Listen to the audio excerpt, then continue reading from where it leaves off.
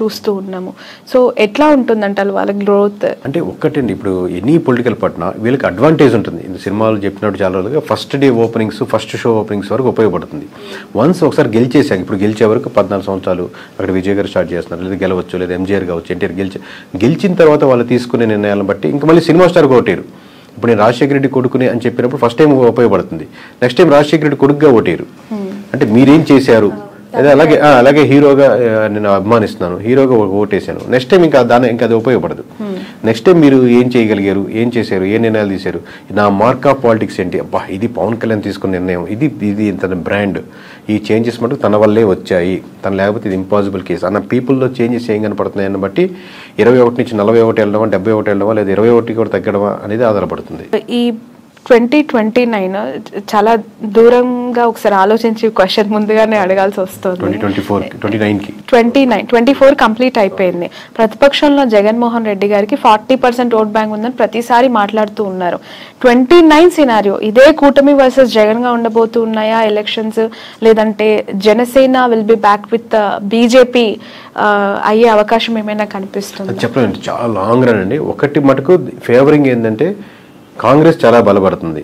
ఏపీలో? ఏపీలో కాదు మొత్తం ఆల్ ఓవర్ ఇండియాలో దాని ఇంపాక్ట్ అన్ని స్టేట్స్ లోనూ ఉంటుంది ఆబ్వియస్లీ ఇప్పుడు బీజేపీకి వన్ పర్సెంట్ టూ పర్సెంటే ఉంది కదా బీజేపీకి ఎవరు ఓట్లు వేస్తారు అనుకున్న స్టేజ్ కాడి నుంచి. ఇప్పుడు ఎంపీలు కానీ ఎమ్మెల్యేలు కానీ గెలుచుకుని అసోసియేట్ ఉంటే బాగుంటుంది కదా అని ఉంటుంది. ఎందుకంటే ప్రతి స్టేటు సెంట్రల్లో గెలిచే పార్టీతో అసోసియేట్ అవ్వాలని కోరుకుంటా ఉంటారు. Both are came from the ఒకే ఒక బ్రీడ్ నుంచి వచ్చిన వాళ్ళు కాంగ్రెస్ కానీ వైఎస్ఆర్సీపీ కానీ. సో ఎంత కాంగ్రెస్ డెవలప్ అవుతా ఉంటే వైఎస్ఆర్సీపీకి తెలియకుండా డైరెక్ట్లీ ఆర్ ఇండైరెక్ట్లీ అంత ఫెచ్ అవుతూ ఉంటుంది. బీజేపీ యొక్క ఓట్ బ్యాంకింగ్ వైఎస్ఆర్సీపీకి ఉన్న ఓట్ బ్యాంకింగ్ కంప్లీట్లీ వేరే different set of vote banking ఏముందో వైఎస్ఆర్సీపీ బీజేపీతో అసోసియేట్ అయినా లేదా ఉన్నప్పటికీ కూడా డైరెక్ట్లీ ఆర్ ఇండైరెక్ట్లీ ఇంతకుముందు వరకు బట్ డైరెక్ట్గా వచ్చి నేను బీజేపీతో అసోసియేట్ అవుతున్నాను బీజేపీ చేసేది రైటే బీజేపీతో పార్టీతో మనం కలిసి ఉంటాం అని ఓపెన్ స్టేట్మెంట్ కానీ ఓపెన్గా వెళ్ళారు ఎందుకంటే రెండు విభిన్నమైనటువంటి vote banking. But at the it comes to Congress తనకు ఒక ఫేవర్ ఉంటుంది. ఎందుకంటే ప్యారల ఓట్ బ్యాంకింగ్ రెండు భావజాలం కానీ ఓట్ బ్యాంకింగ్ కానీ సో అది ఎంత అడ్వాంటేజ్ అయితే అంత వైఎస్ఆర్సీపీకి ఫెచ్ అవుతుంది. So at the same time other side కూడా మన డెవలప్మెంట్ బాగుంటే వీళ్ళకి ఫెచ్ అవుతుంది. లేదు ఓన్లీ బీజేపీ తోనే అవుతుందంటే నష్టపోయేదానికి ఆస్కారం ఉంటుంది. YSR Congress party Congress party ప్యారలల్గా చూసినప్పటికీ కూడా ఏపీ విషయానికి వస్తే there is very separate scenario అండి కాంగ్రెస్ పార్టీ విషయంలో. అక్కడ ఒక అన్యాయం చేసింది మాకు ద్రోహం చేసిన పార్టీగా ఆ పార్టీ పైన ముద్ర ఉంది. అది ఎంతవరకు చెరిపేయొచ్చు చెరిపేసుకుంటుంది ఆ పార్టీ అనేది మళ్ళీ ఒక క్వశ్చన్ మార్క్గా కనిపిస్తుంది. సో అక్కడ గ్రో అనేది కాంగ్రెస్ యొక్క గ్రో అనేది కనిపిస్తుందంటారా ఏపీలో? ఎందుకంటే ప్రత్యేక హోదా గురించి ఉద్యమాలు ధర్నాలు ఇప్పటికీ డిమాండ్ చేసే అనేక మేధావులు ఉన్నప్పుడు సో దీని గ్రోత్ ఎట్లా ఉంటుందంటారు? కరెక్ట్ అండి. ఆబ్వియస్గా దాని ఇంపాక్ట్ ఉంటుంది ఉంది. బట్ ఇంకా ఈ ఫోర్ ఇయర్స్లో దాన్ని ఎలా కన్వర్ట్ చేసుకోగలరు? ఎలా ఎందుకంటే కాంగ్రెస్ బలంగా ఉన్నటువంటి ఒకప్పుడు స్టేటే కదా. సో ఎంత కన్వర్ట్ చేసుకుంటారు అనేది ఇప్పటి నుంచి తీసుకునే డిసిషన్ బట్టి ఆధారపడుతుంది అంటున్నాను. ఇప్పటికైతే మామూలుగా కాంగ్రెస్కి ఓట్ బ్యాంకింగ్ ఓ ఇక్కడ ఏపీ వరకు పెరిగిపోయింది అద్భుతంగా ఉందని ఏం లేదు. బట్ నేను ఏంటంటే నేషనల్ వైడ్ నుంచి ఇంపాక్ట్ వస్తున్నప్పుడు దాని ఇంపాక్ట్ ఎంతో కొంత ఆంధ్రప్రదేశ్ మీద కూడా పడేదానికి ఆస్కారం ఉంది. ఓకే. ఇప్పుడు మనోళ్ళు కూడా అబ్జర్వ్ చేస్తుంటారు కదా సెంట్రల్లో ఏ ఏ గవర్నమెంట్ రాబోతుంది అనేది. సో దాని ఇంపాక్ట్ దీని మీద పడుతుంది అంటున్నాను. ఇప్పుడు కూటమి ప్రభుత్వానికి సంబంధించి మూడు పార్టీల కూటమి ఇది. ఒక one and half year two years తర్వాత ఖచ్చితంగా టీడీపీ సింగిల్ గానే మళ్ళీ నెక్స్ట్ ఎలక్షన్స్కి బరిలో దిగే అవకాశం ఉంది. బీజేపీ జనసేన మాత్రమే అలైన్ కొనసాగబోతుంది అనేది ఎక్కువగా వినిపిస్తూ ఉన్న మాట. అంటే ఇప్పుడు ప్రస్తుతానికి అయితే అలా వాళ్ళ ఆలోచన నాకు ఎందుకంటే అందరితో మాట్లాడుతున్నట్టు అలా ఏం అనుకోవట్లేదండి. కూటమి ప్రస్తుతానికి కూటమిగానే వెళ్దాం అనుకుంటున్నారు. బట్ బయట నుంచి అది టాక్ అవ్వచ్చు. ఉమ్, ఉమ్. ఎందుకనంటే ఎక్కడో ఇంటర్నల్గా కొన్ని క్లాషెస్ అయితే స్టార్ట్ అయ్యాయి. అవి ఉంటాయి మేడం. ఎందుకంటే ఒక వైఫ్ అండ్ హస్బెండ్ మధ్య వంద వంద ఇష్యూస్ ఉన్నట్టు. అబ్వియస్గా ఇది రెండు పార్టీలు రెండు డిఫరెంట్ భావజాలు ఉంటాయి రెండు వీళ్ళ ఆస్పిరేషన్స్ ఎక్కువ ఉంటాయి. ఎప్పటికైనా టీడీపీ కార్యకర్తలు ఏమనుకుంటారు? చంద్రబాబు నాయుడు గారే ఉండాలి తర్వాత లోకేష్ గారే ఉండాలి ముందుకెళ్ళాలనుకుంటారు. జనసేన కార్యకర్తలు ఈ రోజు కాకపోయినా రేపైనా మా వాడు సీఎం అవ్వాలి గెలవాలి ముందుకెళ్ళాలనుకుంటారు. సో ఆబ్వియస్గా లేదా లోకల్ ఆస్పిరేషన్స్ ఉంటాయి క్యాస్ట్ ఈక్వేషన్స్ ఉంటాయి. ఆబ్వియస్గా ఆ చిన్న వైరుధ్యాలు ఉంటాయి. లేదా ఇక్కడ బొమ్మ పెట్టారు ఇక్కడ బొమ్మ తీసేసారు మా వాడి దగ్గర ఏవో ఉంటాయి. బట్ ఇట్లన్నింటినీ కలుపుకొని ముందు మాట్లాడుకుంటే రోజు రోజు మీటింగ్ పెట్టుకుంటే ఎలా ముందుకు వెళ్తారని బట్టి ఉంటుంది. బట్ కలిసి ఉంటే వాళ్ళకున్న బలం విడిపోతే ఇద్దరికీ ఉండదు. ఉండదు. ఓకే. బట్ ఈ మధ్య కాలంలో చూస్తున్న political developments towards Janasena more curious అండి. బాలనేని గారు జాయిన్ అవ్వటం ఉదయ్ భాన్ గారు జాయిన్ అవ్వటం. వస్తున్న సీనియర్ లీడర్స్ జాయిన్ అవుతూ ఉన్నప్పుడు why not TDP why Janasena అనే క్వశ్చన్ అక్కడ మనకు రేజ్ అవుతుంది. అంటే అక్కడ ఉన్నటువంటి సమీకరణాలు బట్టి ఫ్యూచర్లో ఇదైతే బాగుంటుంది కదా అక్కడ ఉన్న క్యాస్ట్ ఈక్వేషన్స్ అన్ని పెట్టి జాయిన్ అవుతారండి. ఇంతకుముందు బాలినేని గారు కూడా ఇప్పుడు అంతకుముందు టీడీపీ గారు టీడీపీ నుంచి ఆఫర్ వచ్చింది లేదా జనసేన నుంచి ఆఫర్ వచ్చి ఉండొచ్చు లేదా ఇప్పుడు అయిపోయిన తర్వాత ఇప్పుడు ఆల్రెడీ టీడీపీ నుంచి వాళ్ళు క్యాండిడేట్ ఉన్నారు కదా గెలుచున్నారు కదా మనం నెక్స్ట్ జనసేనకి అయితే బాగుంటుందని లోకల్ సమీకరణాలు పట్టుకొని ఆ, డిసిషన్ తీసుకుంటా ఉంటారు ఎనీ ఎమ్మెల్యే బట్ ఈ జాయినింగ్స్ అనేవి ఈ టూ పార్టీస్ మధ్య ఏమి క్లాషెస్కి దారి తీయదా మోర్ అంటే ఎందుకంటే ఆల్రెడీ ఒక పెద్ద పార్టీ ఇద్దరికి ఒక అండర్స్టాండింగ్ ఏంటంటే అండి ఇప్పుడు మీకు ఇందాక వైఫ్ అండ్ హస్బెండ్ ఎగ్జాంపుల్ ఏంటంటే మీకు ఒక పిల్లలు husband అదే, are అందుకే, మీకు మీకు కామన్ గోల్ ఎక్కువ ఉంటుంది. అట్ ది సేమ్ టైం మీ ఇండివిజువల్ మీకు కొన్ని లక్ష్యాలు ఉంటాయి మీకు ఆయనకు ఎక్కువ లక్ష్యాలు ఉన్నట్టు. ఇక్కడ ఏమవుతుందంటే ఆబ్వియస్లీ రేపు పొద్దున్న నా పార్టీ బలోపేతం చేసుకోవాలని ఇరు పార్టీలకి ఉంటుంది ఇరు పార్టీ లీడర్లకి ఉంటుంది. సో ప్యారల్గా ఒకటి మీకు తెలిసినా ఒకటి తెలియకపోయినా రెండు పార్టీలు తన పార్టీ బలోపేతం చేసుకోవాలని వర్క్ చేసుకుంటూ ఉంటాయి. దాంట్లో ఎటువంటి సందేహం లేదు. ఎన్నికలకి ముందు వైఎస్ఆర్సీపీ నుంచి చాలా చాలా మంచి లీడర్స్ సీనియర్ ఫైనాన్షియల్ స్ట్రెంగ్త్ ఉన్న లీడర్స్ని వైసీపీ పోగొట్టుకుంది. అది ఎంతవరకు కారణం అనేది ఇప్పటికి కూడా వాళ్ళు తెలుసుకున్నారో లేదో తెలియదు కానీ బాలినేని లాంటి సీనియర్ లీడర్స్ ఇప్పటికీ కూడా వెళ్ళిపోతూ ఉన్నారు. వాట్ ఈస్ వైసీపీ ఫ్యూచర్ అండి? వైఎస్ఆర్సీపీ భవితవ్యం అంటే ఇంతమంది పదకొండు వచ్చినప్పటికీ కూడా కొంతమంది ఓడిపోయినా సీనియర్స్ ఇప్పుడు బొత్స గారు అవ్వచ్చు పెద్దిరెడ్డి గారు అవ్వచ్చు విజయసాయి రెడ్డి ఇలాంటి పెద్ద పెద్ద సీనియర్ లీడర్స్ ఉన్నారు. సో ఎలా ఉండబోతుంది అంటారు ఫ్యూచర్ ఆ పార్టీ భవిష్యత్. అంటే ఎనీ పార్టీ అండి నాట్ ఓన్లీ వైఎస్ఆర్సీపీ ఎనీ పార్టీలో లీడర్స్ పోతుంటారు. ఇప్పుడు టీడీపీ నుంచి కూడా చాలా మంది వైఎస్ఆర్సీపీకి వెళ్ళినప్పుడు లేదా ప్రజారాజ్యం నుంచి చాలా మంది మూవ్ అయ్యి ఉంటారు. పార్టీ మీరు స్ట్రక్చర్ అదే కాన్సెప్ట్ నిలబెట్టుకుని అదే ముందుకు వెళ్తూ ఉంటే లీడర్స్ వస్తుంటారు పోతుంటారు పార్టీలు ముందుకు వెళ్తూనే ఉంటాయి. బట్ మీరు అదే కాన్సెప్ట్ని ఆ కాన్ఫిడెన్స్ని పీపుల్లో బిలీవ్ చేసేటట్టు ఉండగలిగితే టైం కొంచెం గడిచిన తర్వాత మీకు మళ్ళీ జనాలు నమ్మేదానికి ఆస్కారం ఉంటుంది. మీరు అసలు బిలీఫ్ సిస్టమే కోల్పోయారు అనుకోండి లీడర్స్ మొత్తం నూట డెబ్బై ఐదు మంది ఉన్నా కానీ ఏం గెలవలేవు Hmm. మీ సలహా ఏంటి? ఎవరికండి? ఫార్టీ పర్సెంట్ ఓట్ బ్యాంక్ వచ్చింది. పదకొండు సీట్లే వచ్చాయి. అయినా ప్రతిపక్షంలో కూర్చున్నారు. ప్రతిపక్ష హోదానే లేదు అని చెప్పి మాట్లాడేవాళ్ళు. మీరు ఒక కేకే కన్సల్టెన్సీ నుంచి యాజ్ అ సీఈఓగా జగన్మోహన్ రెడ్డికి కావచ్చు వైఎస్ఆర్సీపీకి కావచ్చు వెళ్ళాలి వెళ్తాం అనుకునే లీడర్స్ కావచ్చు వాట్ ఈస్ యువర్ అడ్వైస్ ఒక్కొక్క ఇండివిజువల్ ఎమ్మెల్యేకి ఒక్కొక్క నియోజకవర్గం బట్టి ఆబ్వియస్గా మేము ఇదే టెక్నికల్గా మేము ఇదే వాళ్ళ దగ్గర మనం చార్జ్ చేసి తీసుకొని అక్కడ వర్క్ చేసి సర్వే చేసి ఏది కరెక్ట్ ఉంటుంది బాగుంటుంది ఏది గెలిస్తే బాగుంటుంది అని చెప్తుంటాం.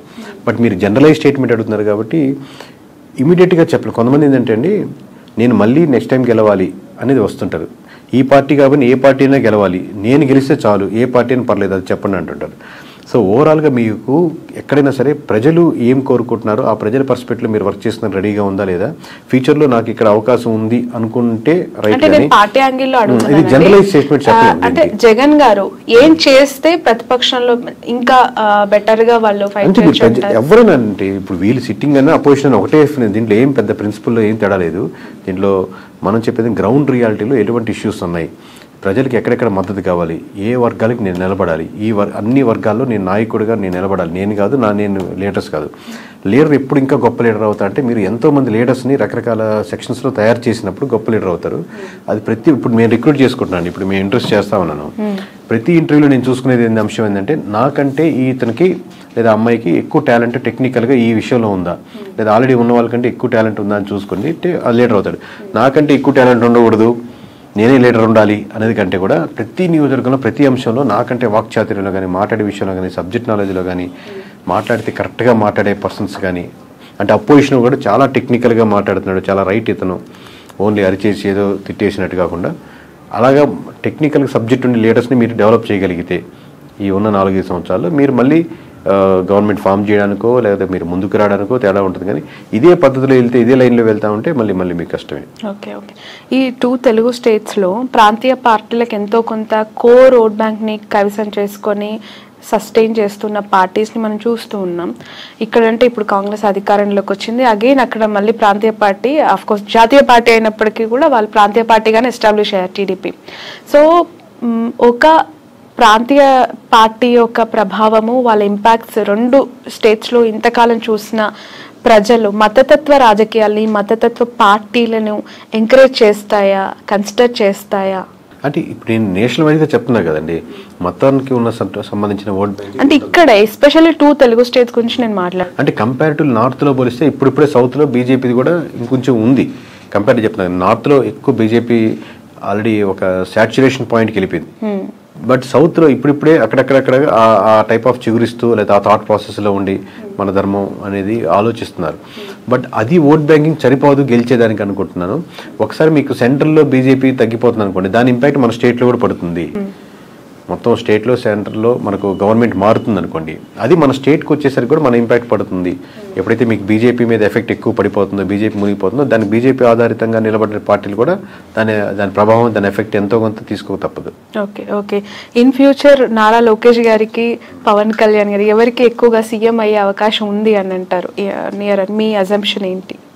అది చెప్పలేము. ఎందుకంటే అండి ఇది హైపోథటికల్గా ఆబ్వియస్గా చంద్రబాబు నాయుడు గారు ఉన్నంతసేపు ఆయన గవర్నమెంట్ రన్ అవుతూ ఉంటుంది. ఫైవ్ ఇయర్స్ ఇబ్బంది లేదు కదా.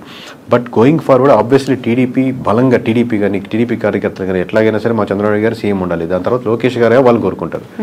పవన్ కళ్యాణ్ గారు ఫాలో అయ్యేవాళ్ళు ఆబ్వియస్గా పవన్ కళ్యాణ్ గారు సీఎం అవ్వాలి. ఇంకా సీట్లు ఇరవై ఒకటి నుంచి మేము డెబ్బై ఒకటో వందో సీట్లు వెళ్ళాలని కోరుకుంటారు. బట్ ఇద్దరు కూటమిగా వెళ్ళాలనుకుంటున్నారా? సెపరేట్గా వెళ్ళాలనుకుంటున్నారా? మీరు ఇందా చెప్పినట్టు టీడీపీ సెపరేట్ అయ్యి బీజేపీ అబ్వియస్గా బీజేపీ జనసేన వెళ్ళాలనుకుంటున్నా ఈ దీని దీనివల్ల ఇట్లా సెపరేట్ అయితే మళ్ళీ వైఎస్ఆర్సీపీకి ఫెచ్ అవుద్దా ఎన్ ఫ్యాక్టరీ వేస్లో ఉన్నాయి కాబట్టి ఎవరి కార్యకర్తలు ఎవరు లీడర్ అవ్వాలనుకుంటారు మాది ఏంటంటే ప్రజలు ఇప్పుడు ప్రస్తుతానికి ఏమనుకుంటున్నారు? ఎలా చేస్తే ప్రజలకు బాగుంటుంది?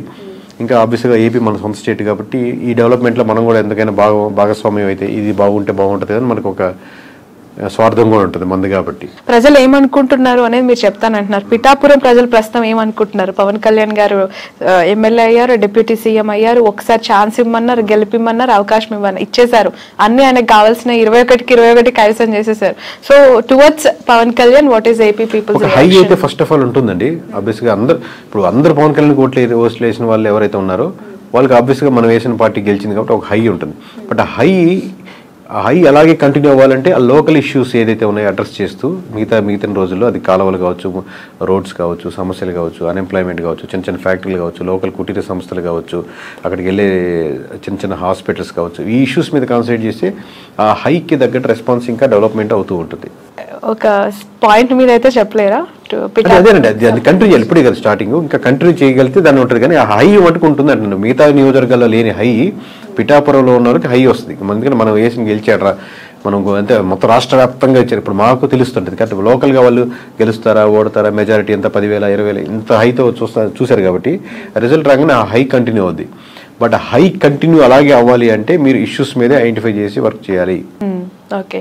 సార్ మీ మీకు ప్రెషర్ ఎంతవరకు ఉంటుంది ఈ సర్వీస్ అని చేస్తూ ఉన్నప్పుడు? ఎందుకనంటే ఒక ఇంటర్వ్యూ చేస్తే మాలాంటి వాళ్ళ మీదనే బురద జల్లే ప్రజలు లేదంటే అలాంటి పీపుల్ మనం సొసైటీలో యాజ్ ఆఫ్ చూస్తూ ఉన్నాం.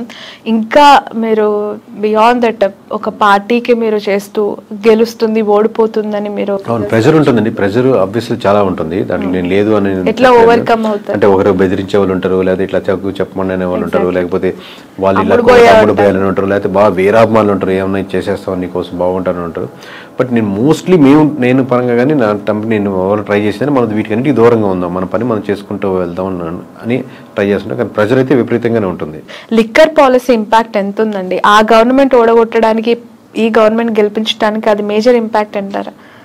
వన్ పర్సెంట్ ఇప్పుడు అన్ని ఒక్కొక్క పర్సెంట్ యాడ్ చేసుకుంటా ఉన్నాం. అంటే వైఎస్ఆర్సీపీ నుంచి టీడీపీకి వచ్చిన ఓట్ బ్యాంకింగ్లో ఖచ్చితంగా ఒక వన్ పర్సెంట్ అయితే ఓట్ బ్యాంకింగ్ లిక్కర్ పర్స్పెక్ట్లో వచ్చిన ఓట్ బ్యాంకింగ్ ఉంటుందండి. ఇప్పుడు కొత్త పాలసీస్ ఇప్పుడే తీసుకున్నారు కాబట్టి అది ఇంప్లిమెంటేషన్ అయ్యి రేపు పొద్దున ఒకటో తారీఖు నుంచి రిజల్ట్ చూసి దాన్ని ఎలా ఉన్నాయని చెప్పగలుగుతాం. Right right thank you so much అండి. థ్యాంక్స్ ఏ లాట్ సో మొత్తానికైతే ఫ్యూచర్లో రాహుల్ గాంధీని ప్రధానమంత్రిగా చూడొచ్చు అంటారా? అంటే ఇప్పుడుకున్న ఈ వేవ్ చూస్తుంటే మటుకు నార్త్లో అన్ని స్టేట్స్ ఓడిపోతున్నాయి కాబట్టి ఇలాగే వెళ్ళగలిగితే అది జరుగుతుంది. లేదు బీజేపీ రివైవ్ చేసుకొని మార్చుకోవాల్సిన అంశాలు మార్చుకుంటే మంచి పోటీ ఇవ్వగలుగుతుంది బట్ ఛాన్సెస్ ఆర్ అలా హండ్రెడ్ పర్సెంట్ నేను ఇప్పుడు చెప్తున్నాం కదా ఆల్రెడీ అన్ని అన్ని రాష్ట్రాల్లో బీజేపీ ఓడిపోతుందని చెప్తున్నాం కదా. ఇలాగే జరుగుతుంది ఆబ్వియస్లీ కాంగ్రెస్కి ఉన్నటువంటి ఆప్షన్ అదే కాబట్టి ఆప్షన్ ఉంది మీరు అడిగిన దానికి. Okay right thank you so much అండి. ఇది కేకే గారితో స్పెషల్ ఇంటర్వ్యూ దట్స్ ఆల్